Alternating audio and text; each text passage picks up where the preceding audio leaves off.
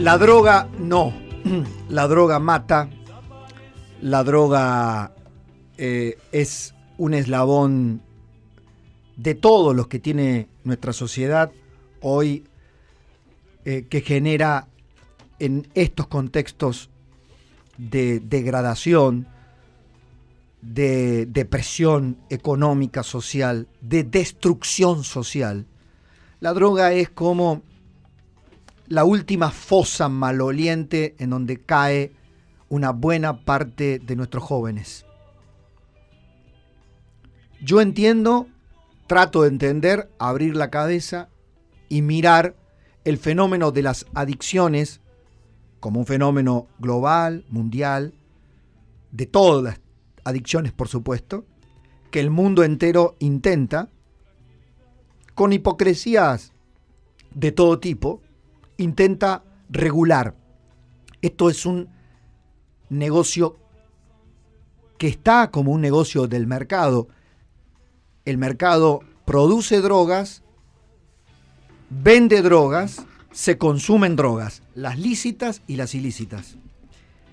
Las drogas lícitas están reguladas y las drogas ilícitas tienen una regulación por parte de los estados, de los gobiernos, non santa, una regulación, entre comillas, desde la ilegalidad, desde el fracaso, de la impotencia o desde los negocios más oscuros. Eh, no vamos a resolver acá ni a sintetizar acá el fenómeno del narcotráfico, la producción de drogas, las vinculaciones con el poder económico, con las mafias, con los países, Ahora, en el contexto de Argentina, lastimados como estamos, jóvenes ni, ni, ni. Si en el mundo hay jóvenes ni, ni, que ni estudian ni trabajan, acá ni estudian, ni trabajan, ni tienen horizontes, ni creen en alguien, ni pueden pensar que van a ser mañana. Y esto transcurre en un horizonte, o en todo caso, perdón, en una línea que atraviesa a todos los sectores sociales. Si como adultos pensamos que no le damos a nuestros hijos un mínimo motivo para quedarse entre nosotros, tener chances de progresar, si nosotros adultos no podemos soñar con, como nuestros padres o nuestros abuelos, que nuestros jóvenes iban a tener mejores chances, mi hijo el doctor. ¿Se acuerdan? Esa idea de la movilidad social ascendente, de la clase media que mandaba a sus chicos a la universidad porque tenía la sensación, se esforzaba duro, se trabajaba duro, porque valía la pena, porque el sacrificio implicaba que iba a haber un futuro mejor para ellos, eso se rompió. No es culpa solo o responsabilidad absoluta de la Argentina. Eso se rompió en el mundo, el paradigma se rompió en el mundo. Pero en la Argentina es peor. Porque en la Argentina, a diferencia de otras sociedades que han podido organizar su contrato social económico básicamente, donde trabajar tiene una remuneración lógica, donde hay un crédito hipotecario para que los recién juntados o recién casados o, los propios jóvenes individualmente eh, puedan soñar con independizarse, irse de su casa este, y hacer su vida propia con un, un mínimo de previsibilidad. En una Argentina que no da eso, el Estado no te puede dar droga. El Estado no te puede incitar al consumo de drogas. El Estado no puede ser el amigo canchero que como fracasa en la lucha contra el narcotráfico, como tiene al narcotráfico metido en la política, metido en la policía, metido en los organismos de seguridad, para, para muestra basta el botón de Rosario, pero no como único botón, multiplicado por todos los grandes conglomerados de las principales ciudades de la Argentina. Pero para ver la contaminación que el narcotráfico, el lavado de dinero genera, está Rosario está Rosario. Me dice un amigo rosarino, Pablo, acá tendrían que intervenir la provincia de Santa Fe. Solo que, a diferencia de otras, otros momentos de la Argentina, eso sería tan inviable o tan neutro como que siga Perotti gobernando.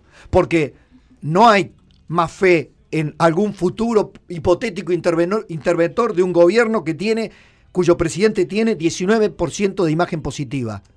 ¿Quién va a intervenir Santa Fe? ¿Aníbal Fernández? ¿Quién va a intervenir Santa Fe? ¿Agustín Rossi? ¿Lo van a mandar de interventor? ¿Intervenir para qué? Pero en Santa Fe, el Poder Judicial, el Poder Legislativo y el Poder Ejecutivo están seriamente comprometidos, cuando no asediados, cuando no conminados por el narcotráfico.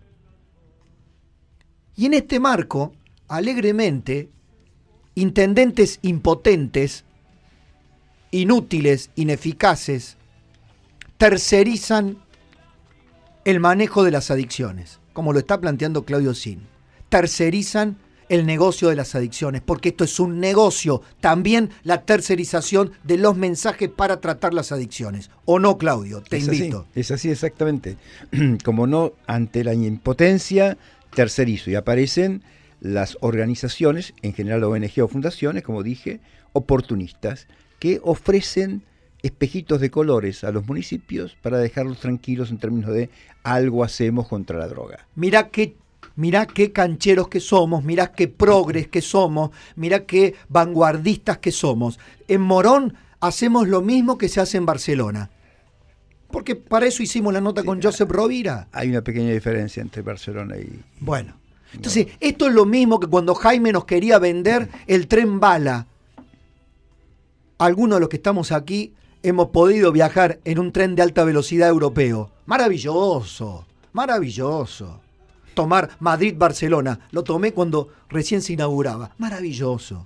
Ahora, Jaime quería traer, Ricardo Jaime, uno de los más corruptos funcionarios kirchneristas, quería traer el tren bala solo por un negocio de coimas monumentales, mientras todavía no se había producido la tragedia de Once.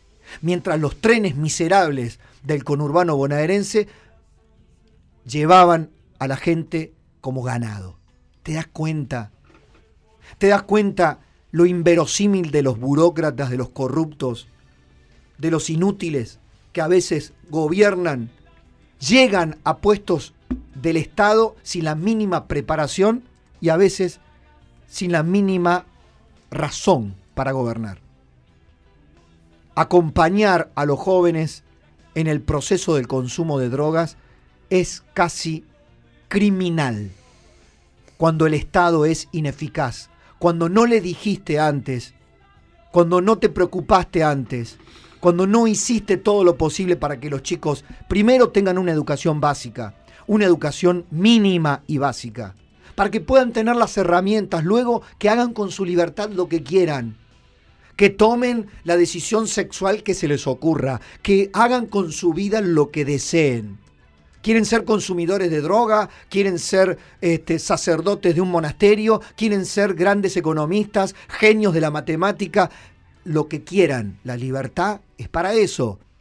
Ahora, el Estado tiene que cumplir con lo básico.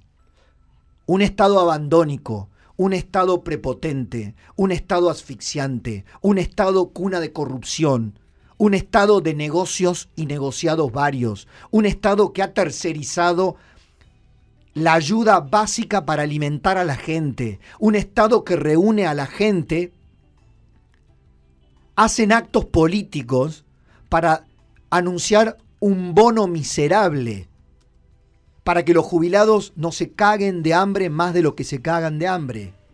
Ese Estado es el que te dice hoy, toma de a poquito, anda de a poco y despacio, toma poquito para ver cómo reacciona tu cuerpo cocaína. Elegí un buen proveedor. Busca un buen proveedor. Elegí un buen dealer. Fidelizate. ¿Te das cuenta? ¿Te das cuenta a dónde llega la criminalidad del mensaje? Y la estatura de la hipocresía. Yo creo que se pueden meter con muchas cosas. Y podemos opinar desde las ideologías más diversas. Los progresistas, los conservadores, los liberales, los de ultraizquierda, los de ultraderecha. Ahora, con los chicos no. con los jóvenes no. Ya demasiado daño le estamos haciendo para que en nombre del Estado la mala praxis se convierta en cuasi criminal.